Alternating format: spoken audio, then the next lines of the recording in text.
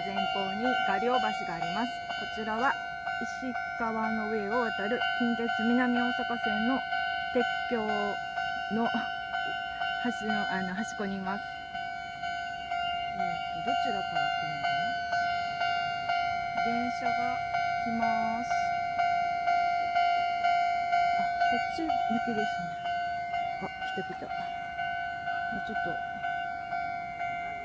近鉄電車をご覧ください。